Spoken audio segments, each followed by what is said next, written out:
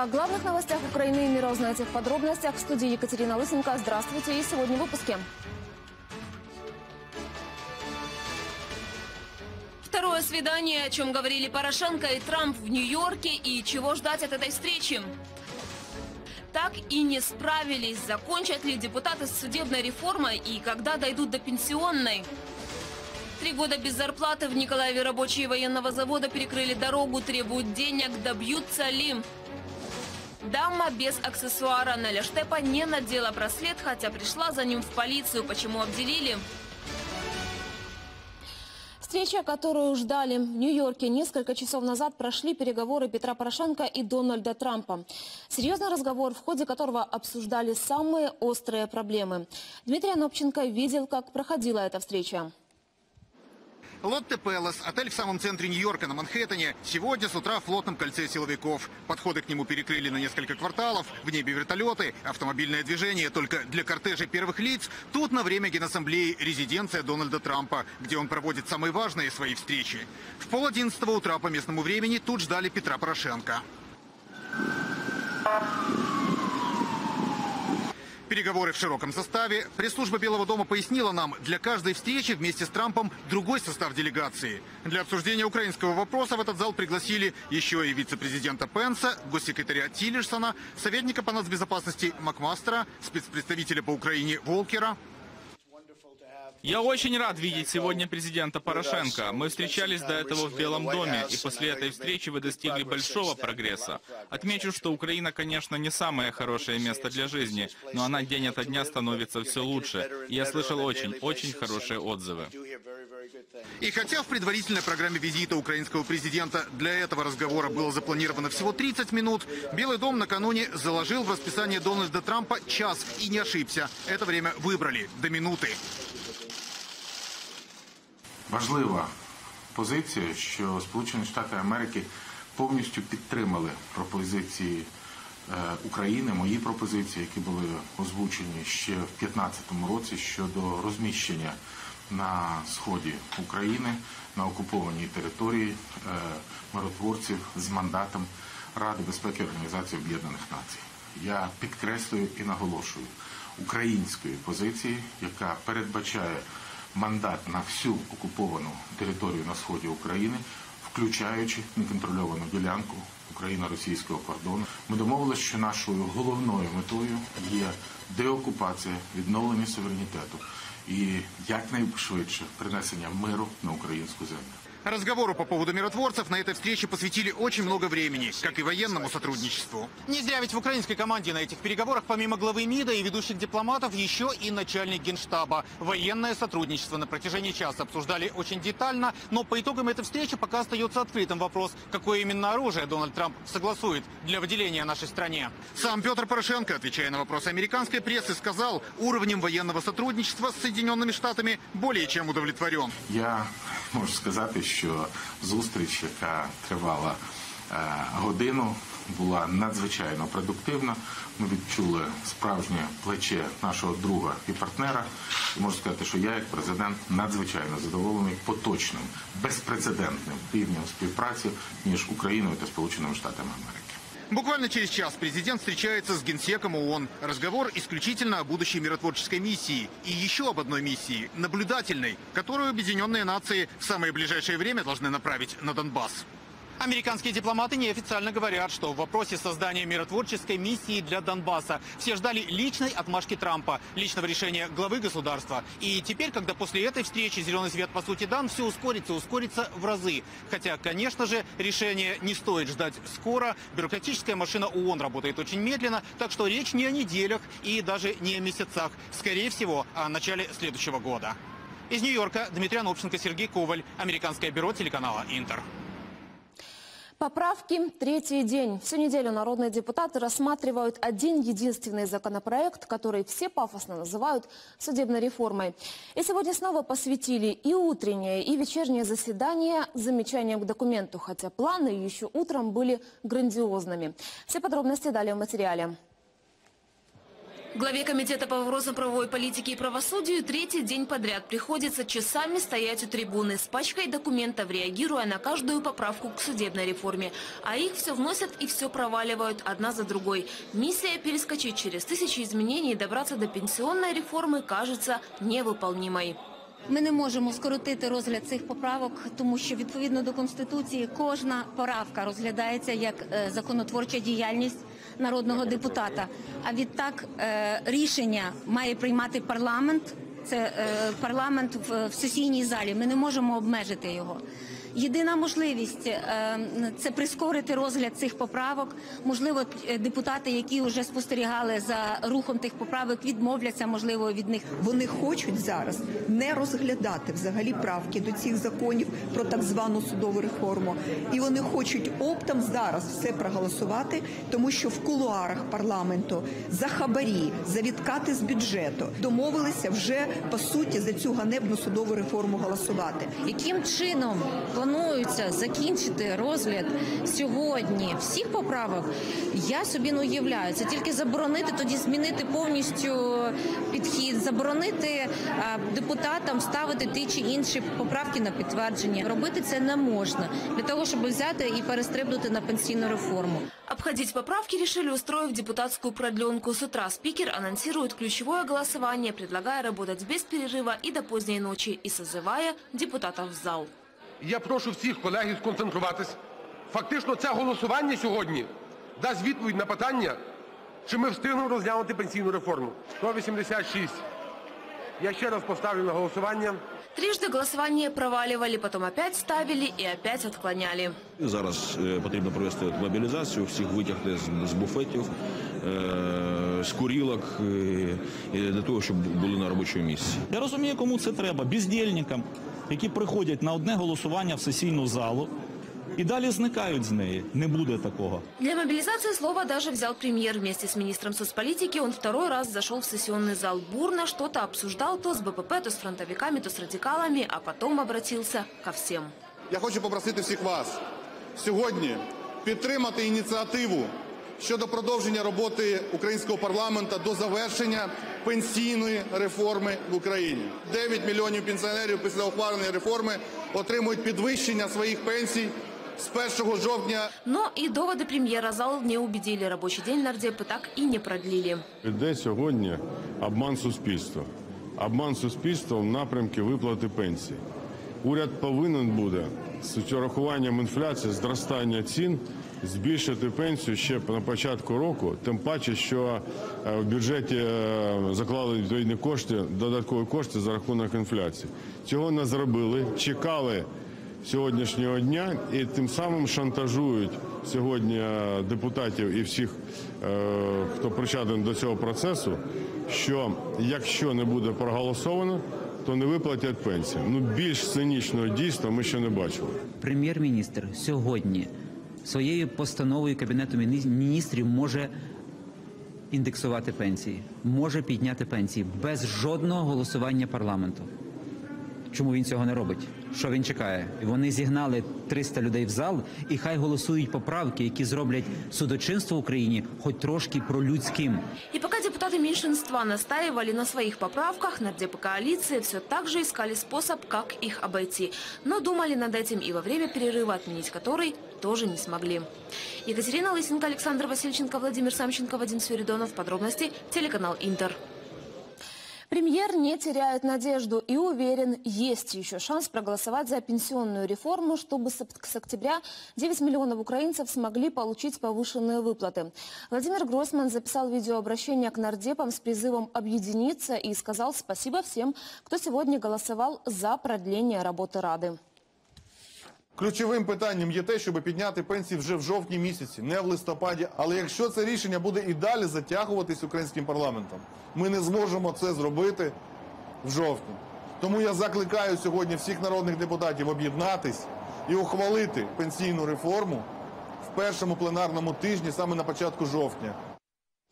Многие украинцы готовы идти на досрочные парламентские выборы. Таков вывод социологов. В Центре социсследований «София» провели опрос во всех областях Украины и определили политические симпатии граждан. Итак, если бы выборы состоялись в ближайшее время, больше всего респондентов согласны поддержать «Батькивщину». Это 12% опрошенных. На втором месте оппозиционный блок за эту политсилу готовы проголосовать более 11% участников исследования. И замыкает тройку лидеров лидеров БПП «Солидарность» с рейтингом свыше 10%.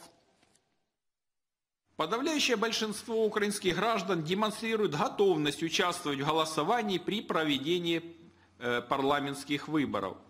В частности, 36,4% респондентов указали, что обязательно будут голосовать в случае проведения выборов. Мы действительно у критической черты. Э, уровень э, недоверия, разочарования действиями власти крайне высок. Тем не менее, общество э, демонстрирует ну, высокую степень терпимости. Очень явно проявляются социальные травмы. Кому не доверь, а все равно обманут. Готовность переизбирать нардепов объяснима, по словам социологов, большинство украинцев на грани бедности. Согласно еще одному исследованию, 30% опрошенных признались, денег им хватает только на продукты.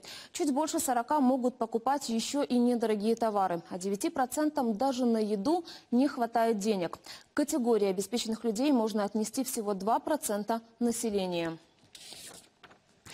Безденежье вывело на акцию протеста сотрудников судостроительного завода имени 61 коммунара. В центре Николаева люди перекрыли дорогу. Зарплату им не выплачивают уже больше трех лет. Общая сумма задолженности – 60 миллионов гривен, продолжит Кирилл Ющишин. Пушкинское кольцо – одна из самых главных дорожных развязок в Николаеве перекрыта. Работники завода не планировали блокаду, но после того, как чиновники проигнорировали их пикет у облгосадминистрации, пошли на отчаянный шаг. Никто нам э, ничего не говорит. Только обещают, письма пишем, толку никакого. Полицейские пытались заставить людей прекратить акцию протеста. Не получилось. Виконуємо жести регулювальника, виконуємо жести регулювальника. Увага пішоходи, зупинити рух на тротуарі. Виконуємо жести регулювачів. Предприятие задолжало сотрудникам немалые суммы от 70 до 150 тысяч гривен каждому, а всем вместе 58 миллионов. Мы требуем зарплату, которую нам не платят три года и два месяца. Вся семья работает в заводе, мы без зарплаты. Завод имени 61 коммунара – это госпредприятие, которое входит в концерн «Укроборонпром». С журналистами руководство предприятия общаться отказывается. Сначала АТО, а это уже более трех лет, завод простаивает.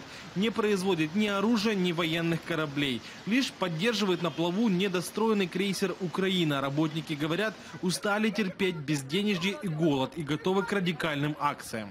И вот у меня есть подписи всех э, работников завода. Вот сколько их много. Вот сколько листов, все подписались. Фамилии, подписи, все тут есть. Дорогу удалось разблокировать только после того, как приехал мэр города, договорились вместе ехать в столицу, добиваться правды. Завтра мы подготовим обращение, которое вынесено на очередную сессию городского совета, которое мы проголосуем, и э, вместе с инициативной группой я Украины. Работники завода согласились с таким сценарием, но предупредили, в случае, если их опять обманут, перекроют движение транспорта в городе до тех пор, пока не добьются своего. Кирилл Ющишин, Игорь Попов, подробности, телеканал Интер, Николаев. Очередной митинг под Нацбанком нардепа Вадима Рабиновича ознаменовался скандалом. Повысить оплату труда митингующим предложил украинский блогер Александр Барабошко. Об этом он заявил прямо с трибуны.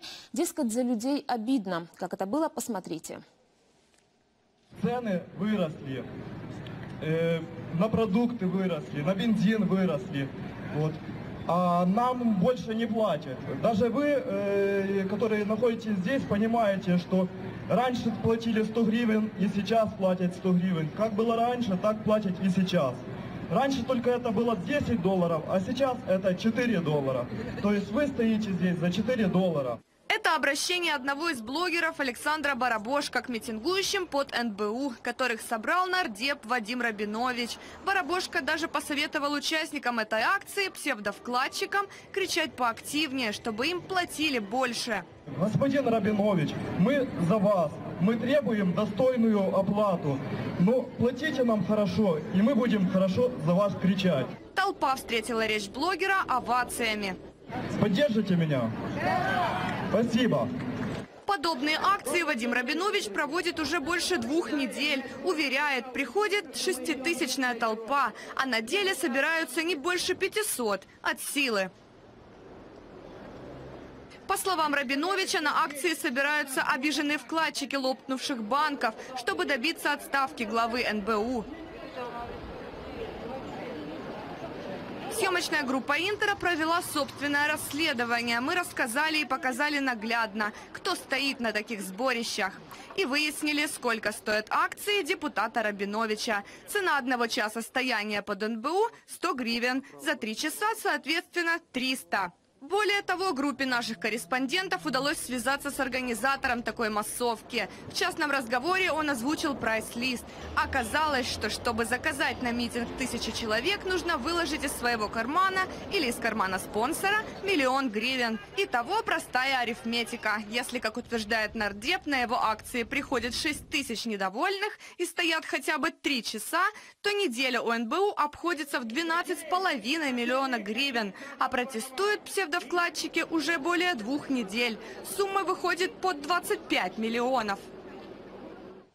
Факты незаконного обогащения другого нардепа, лидера радикалов Олега Ляшко, установили в НАБУ.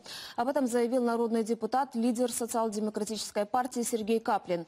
По его словам, Ляшко скрыл от государства два участка в Вышгородском районе, которые за ним числятся.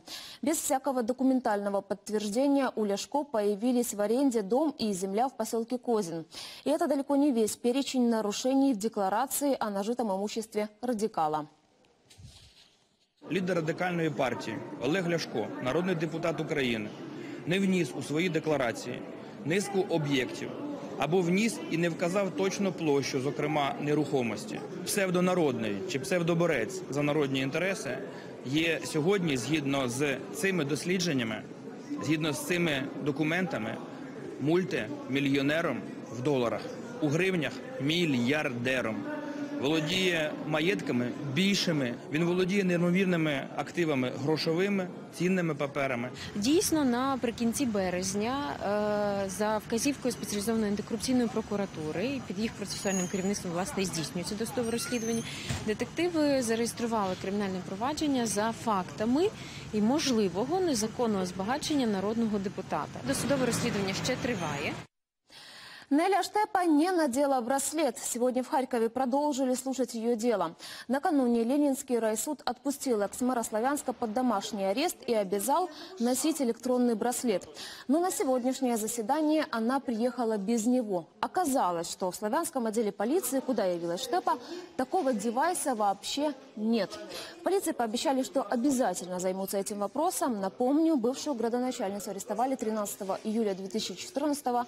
Ее обвиняют в посягательстве на территориальную целостность Украины и создании террористической группы.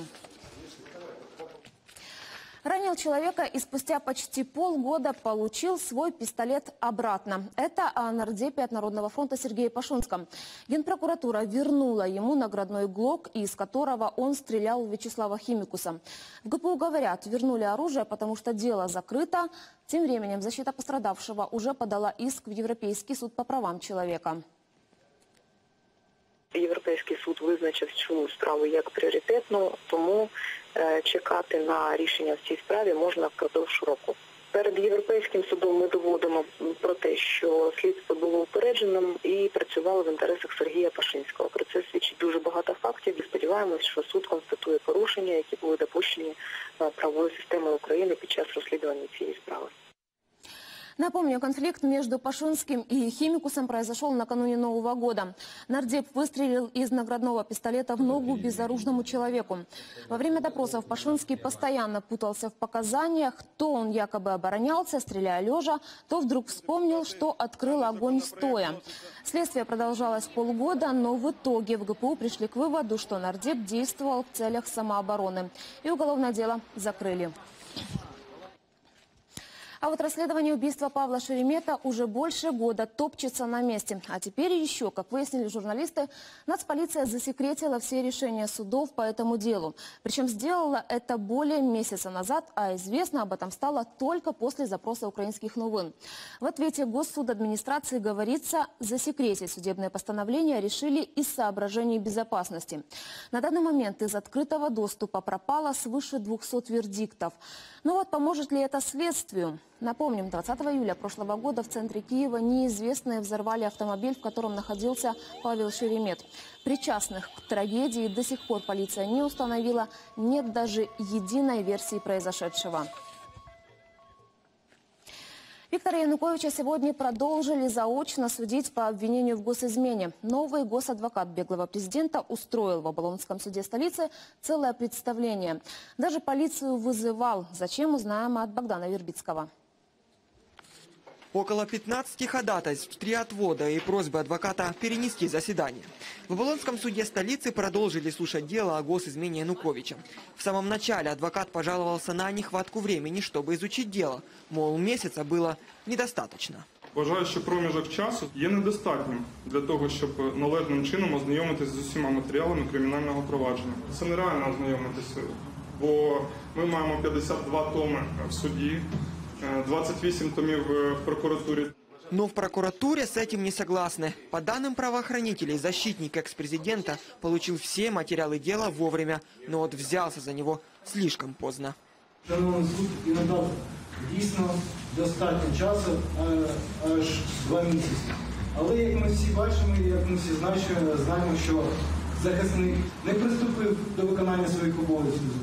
После неудачной попытки перенести заседание, Гераська заявил о нарушениях. Мол, показания главного свидетеля записывали не на те устройства и обвинил в этом секретаря. Суд намагається підмінити аудіозапис, зроблений на програму Камертон, записом, відеозаписом зі звуком. Має бути саме аудіозапис. Тому вважа- я вважаю, що є порушення, є підстави для відводу секретаря. Судья решил, нарушений не было и продолжил заседание. Це буде не суд, а судилище. Дальше адвокат решился на крайность. Пригрозил судье полицией. Зараз вчиняється кримінальне правопорушення, порушення права на захист. Я прошу зробити перерву, я хочу заявити в поліцію у зв'язку з вчиненням кримінального правопорушення судом. Жодне з моїх клопотань, шановний суд, не задовольнив. Навіть на обідню перерву. Тому щось я роблю вам відвід. Єдиною підставою, яку ми щойно почули, це лише незадоволення захисника е, тим, як саме розглядається його клопотання, які, на думку сторони обвинувачення, кожне з яких було абсолютно безпідставним. Судья отклонил и это ходатайство адвоката, но слушание все-таки перенес на 27 сентября.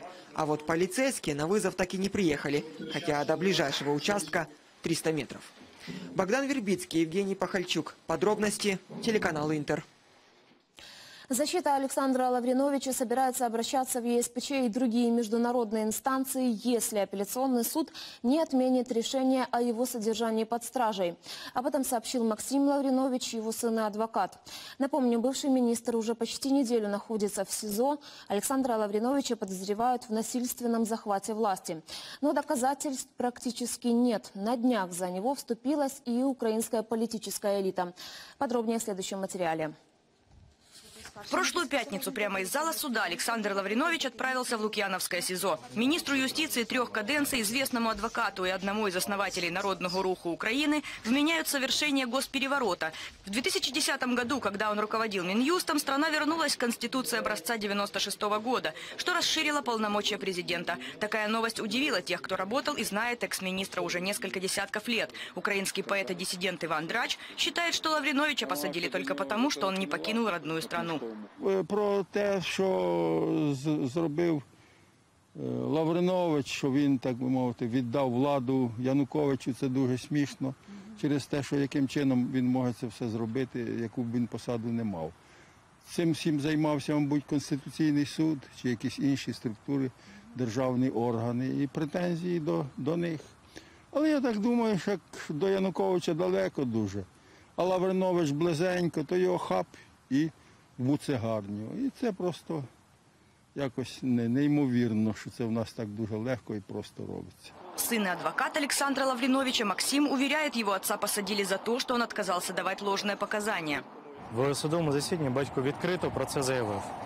Так, від нього вимагали дати свідчення проти колишнього керівництва держави, проти депутатів, суддів, сфальсифіковані свідчення для того, щоб, е, очевидно, цю справу якимось чином розкрутити. І уявіть собі, що знайшли людину міністра юстиції і говорять про те, що він винен в тому, що це рішення Конституційного суду його підлеглі в автоматичному режимі, без його розпоряджень, підписів, е, опублікували так, як це роблять завжди.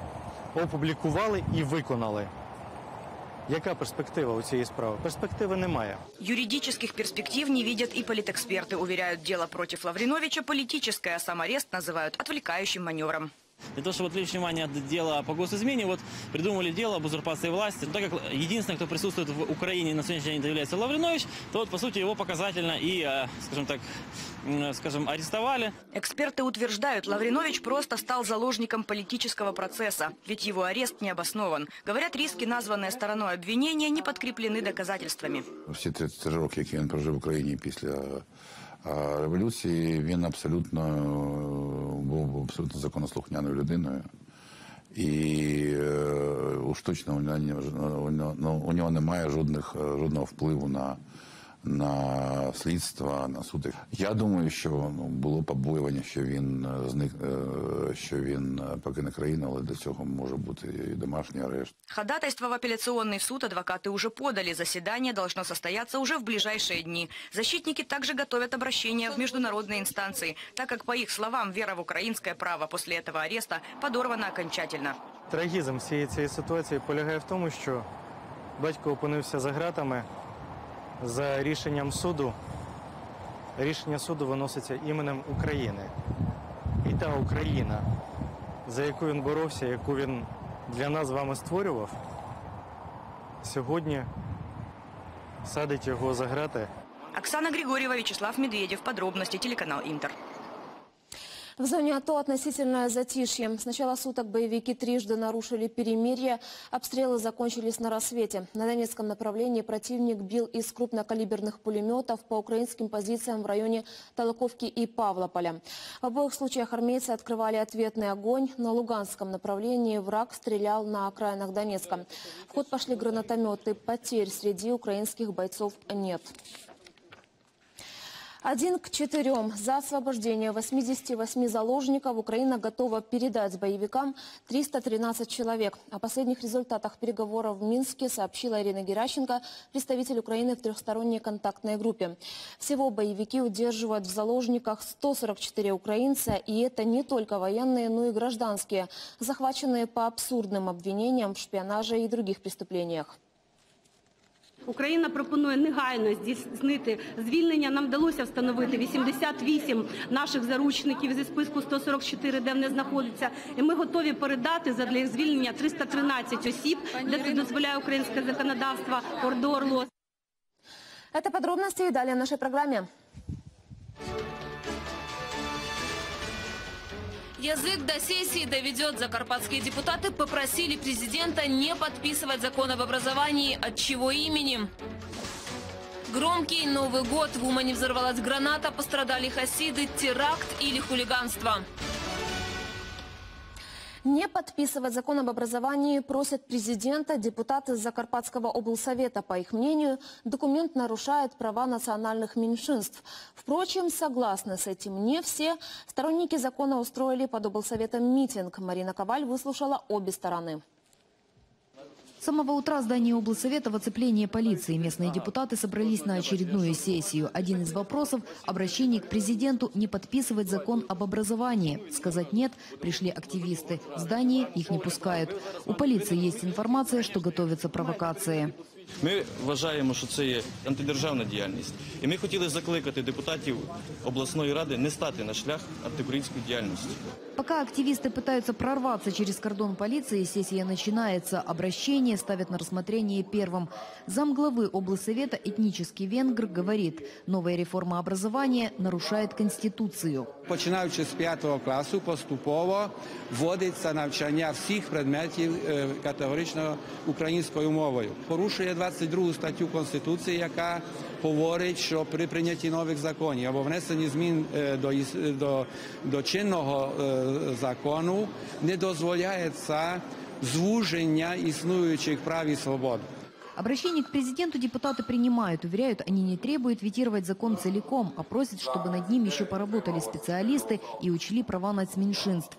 О том, что документ далек от совершенства, говорит и губернатор Закарпатья.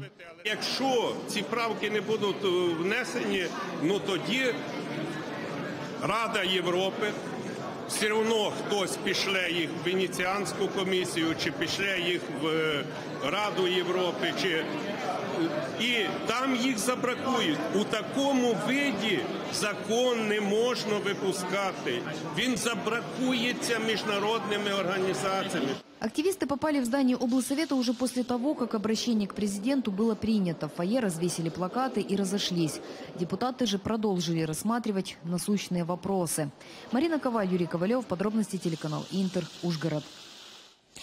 Из регионального бюджета населенным пунктам Киевской области деньги будут выделять путем предоставления субвенций. Об этом во время заседания заявил губернатор Александр Горган. По его словам, прямая передача денег на места исключит коррупцию. Ведь в результате последней масштабной проверки губернатора и областного прокурора выяснилось, что на строительство объектов области выделялись очень крупные суммы, но по факту никаких работ не проводилось. Хищению выявили на сотни миллионов гривен. Отныне, по словам Горгана, областная госадминистрация будет определять, куда и сколько средств направлять на места. Сьогодні була впроваджена процедура прозорого і зрозумілого принципу розподілу коштів обласного бюджету, при якій кожен міський і сільський голова має можливість чітко зрозуміти, на який обсяг фінансування він може розраховувати. Переваги такого підходу вони очевидні.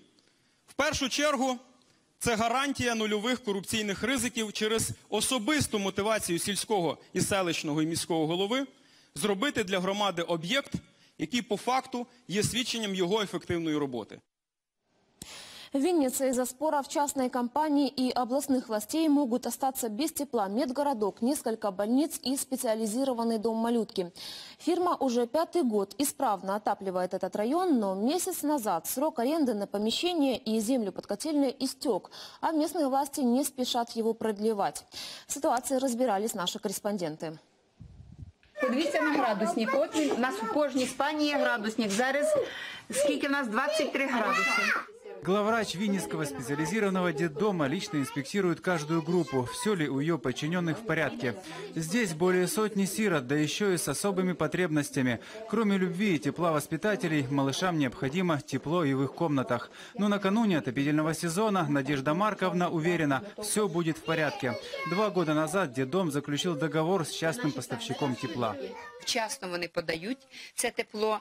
Зимою в нас дуже тепло і ком- комфортно. Інколи буває так, що ми гігакалорій трошки зменшуємо, тому що буває навіть жарко 25 і 27 градусів. Эта частная компания подает тепло не только детдому, но и на весь Винницкий медгородок. Среди клиентов котельной 14 лечебных учреждений.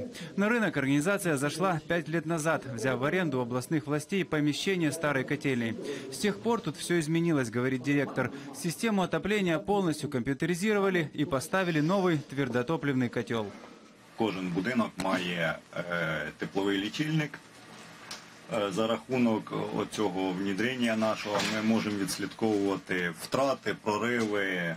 Но будущий отопительный сезон у компании оказался под угрозой срыва. Срок договора аренды на помещение, землю и использование теплосетей закончился месяц назад. Соучредитель фирмы уверяет, заявки на продление договора они подали заблаговременно, но областные власти до сих пор молчат. Ми сьогодні е, маємо на кінці нашої котельні маємо засувку, яка сьогодні закрита, і ми не маємо права її відкривати, поки нам у нас не буде договору е, на транспортування. Договоры с компанией чиновники не продлевают, а вместо этого за несколько кварталов начали реконструировать еще одну старую котельню. Областному бюджету реконструкция обойдется почти в 10 миллионов гривен. Ми день і ніч, ну ми не можемо сказати коли. Ну кажуть, що запуститься вовремя.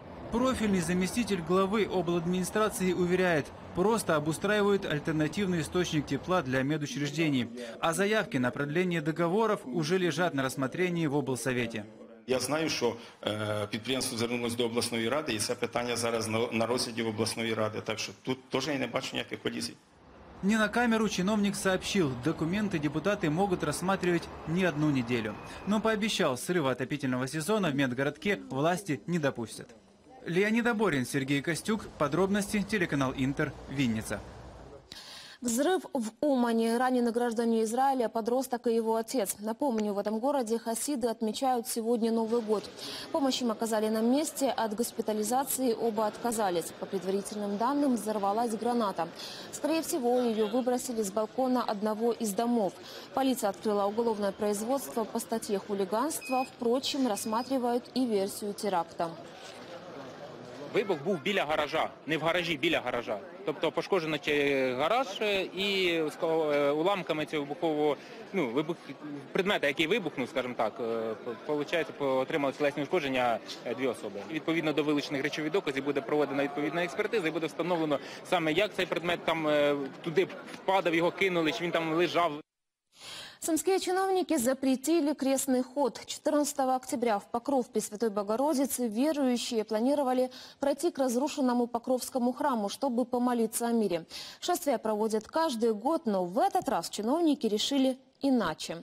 Почему, Светлана Шакира расскажет. Прихожанка Оксана вспоминает, как два года назад была участницей крестного хода. Шли от Спаса Преображенского храма до Покровского. На месте разрушенного храма проводят службы. а, Люди молятся за мир, за благоустроение в нашем государстве. Эта соборная молитва, она имеет крепкую силу. И вот Господь защищает и наш город от всяких бедствий.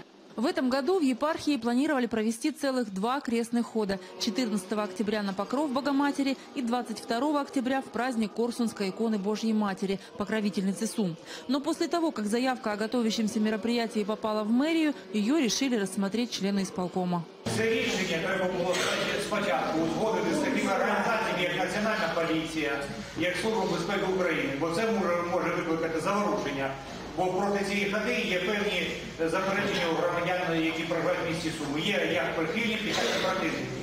В итоге чиновники проголосовали против церковных шествий. В Сумской епархии о решении узнали из СМИ и считают его незаконным. Ведь епархия должна лишь уведомить городские власти о планируемом мероприятии. Исполком Сумского городского совета принимает такие незаконные решения вопреки 39 статье э, Конституции Украины, вопреки другим законодательным актам. Исполком в данном случае является продолжателем дела большевиков, которые разрушали, уничтожали, распинали, оплевывали наши христианские народные святые. Но верующие уверяют, несмотря на запреты, крестный ход они все равно пройдут.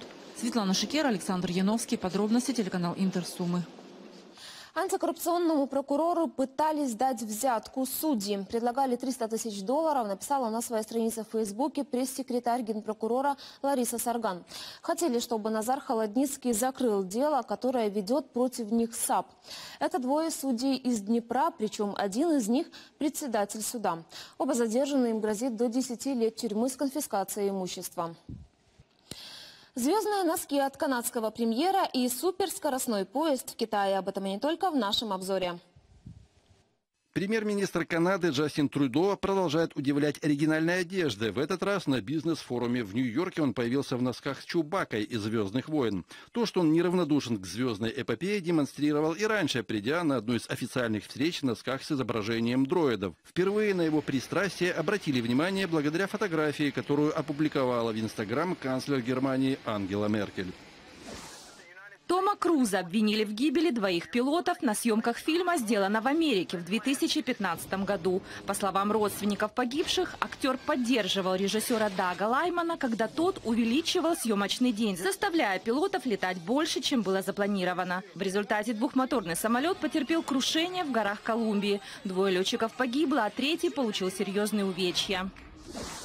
Отложенный на 6 лет рекорд пассажирских железнодорожных перевозок все-таки установили в Китае. Поезда нового поколения «Фусин» отныне будут курсировать между Пекином и Шанхаем 7 раз в сутки со скоростью 350 км в час. Теперь 1250 км из Пекина до Шанхая можно будет преодолеть чуть больше, чем за 4,5 часа. Это на полтора часа быстрее, чем раньше.